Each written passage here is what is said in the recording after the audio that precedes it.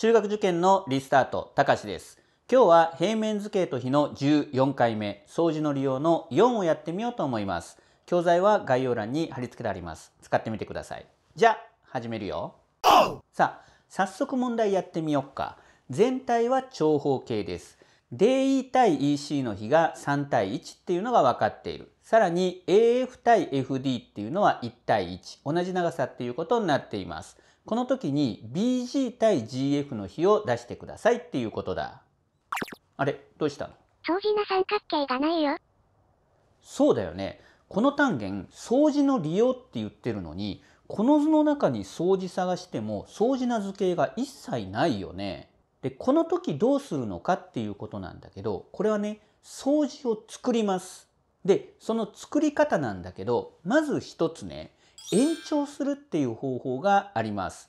この問題の場合、例えばね、この AE の線をこっちに延長してみようか。で、BC も延長してみましょう。そうすると、これで相似ができたっていうこと。でね、この時の注意点なんだけど、あ、相似見えるよって思うかもしれないけど、実はね、相似が2組3組っていう風にたくさんできています。これをうまく見抜いて利用するのがポイントだ。例えばこの問題の場合、もちろんここの相似が見えてくるよね。この相似比がまさに BG 対 GF を求めるための相似になっています。ただ、この相似いきなりは使えないんだよ。相似比わかんないからね。だから他の相似を使います。他の相似見つかるかなそうだよね。砂時計型の相似がここにもあるっていうことがわかる。で、さらにおにぎり型の相似もあるよ。どこかっていうと、このオレンジ色の部分と青の部分。これが今度はおにぎり型の相似になってるよね。これらを使って問題を解いていくことになります。なので、この延長した先を H とすると、最初に使う相似はどれかっていうと、相似比が分かってる相似だよね。先生だったら、ここの相似を先に使います。この ADE と HCE の相似比っていうのは、ここの辺に出てきてるよね。3対1っていうことになります。ということは、この AD 対 HC の長さの比もやはり3対1っていうことになるわけ。AD の長さが今丸の2だよね。だから2割る3っていうことで CH の長さが丸の3分の2っていう言い方ができます。これを使ってこの相似を使うことができるわけ。この HBG と AFG の相似比っていうのがわかります。なぜなら全体は長方形なので AD と BC の長さは同じっていうことになるよね。ということで赤と青の相似比は AF と BH に出てきます。BH の長さは2 3分の2。AF の長さは1っていうことになるよね。ということでこの青と赤の相似比は8対3。これがそのまま BG 対 GF に出てきます。これが答えっていうことになります。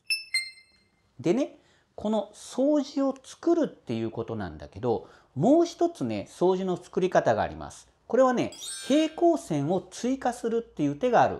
どういうことかっていうと、AD と BC が平行だよね。これらとの平行線を E から引いてみましょう。そうすると、これも相似ができたのわかるかな？例えば、この部分が相似になってるよね。砂時計型の相似だ。おにぎりの相似もあるよ。どこかっていうと、この AFB の三角形とこの先っちょの小さな三角形。これも相似っていうことになるよね。でね、この平行線を追加する場合なんだけど、このテクニックを覚えておいてほしいんだ。今、ABC3 本が平行線です。ここ6センチ、10センチ。こっちは12センチとハテナセンチの時に、このハテナの長さを出しなさいっていうことなんだけど、これちゃんとやろうと思ったらね、この6と10の直線と平行な線をここに引いてみましょう。そうすると相似な三角形ができるよね。で、この相似比っていうのは16と6、8対3っていうことになります。すると反対側の辺もやはり8対3っていうことになる。すると8-3の丸の5に当たるのが12センチ。ハテナセンチは丸の3っていうことになるので、12割る5かける3でハテナが出てきます。で、これでいいんだけどね、これもっと楽に解けるよね。平行線があるときはこの6センチと10センチが3対5なんでしょう。ということは結局ハテナセンチと12センチもやっぱり3対5になるっていうこと。つまり平行線を利用すると長さの比を移動することができるっていうことを覚えておきましょう。そうするとこの場合もねこう平行線を引くとこの3対1っていうのが例えばここに移動させることができます。でここの相似比が分かってくるっていうことになります。青い方を1とするとオレンジの方は4っていうことになります。すると AF と FD は同じ長さなのでこちらも4長方形の横の長さは8っていうことになるよね。でさらにもう一つ相似の組がありました。この相似比っていうのが4対7っていうことになります。でこの相似比の4対7っていうのがこの部分の長さの比っていうことになります。そうすると BG 対 GF なんだけど例えば BG の長さっていうのが1たす3割る 11×7 だよね。無印の3っていうのが丸の11に当たってるからね。そして GF の長さっていうのは3割る 11×4 っていう言い方ができます。整理するとこのようになって答えはもちろんさっきと同じ8対3っていうことになるわけ。まあ、この問題の場合は正直延長したやり方の方が簡単だったと思います。じゃあもう一問解いてみようか。今度は全体は台形ですと。で真ん中に埋まってる四角形は正方形。GF 正方形の一辺を出してくださいっていうことだ。さあどうしようか。延長。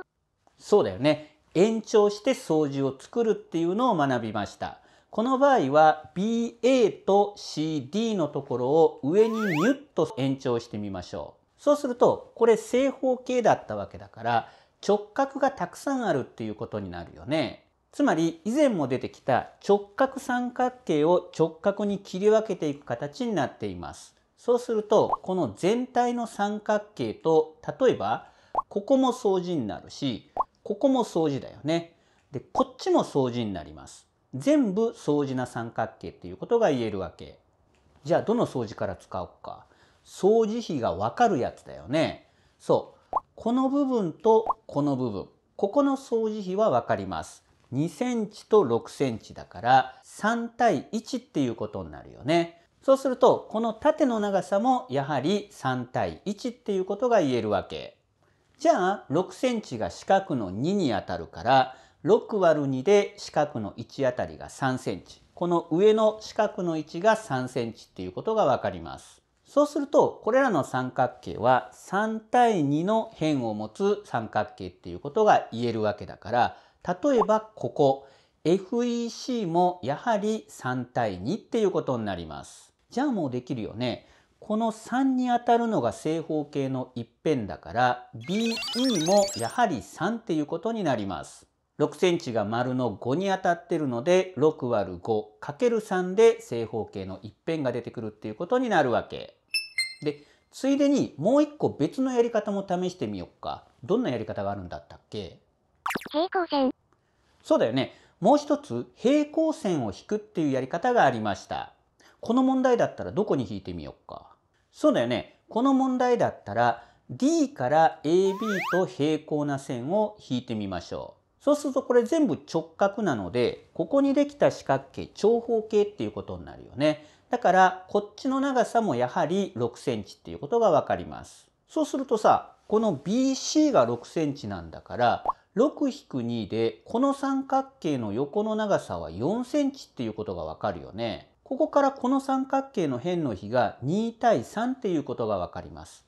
ということはこの FEC もやはり2対3っていうことが言えるわけ。こっからはさっきと一緒だよね。正方形の一辺が丸の3にあたるので6割る 5×3 で正方形の一辺が求まります。お、どうしたの？平行線の方が楽？そうだよね。こっちの問題の場合は平行線引いちゃった方が楽に解けるよね。つまり延長でも平行線でも解ける場合が多いんだけどどっちが楽かっていうのは問題によって微妙に違いがあるっていうことになります。ではまとめます。相似な三角形の作り方です。これは主に2つあります。延長すると平行線を追加っていうことだ。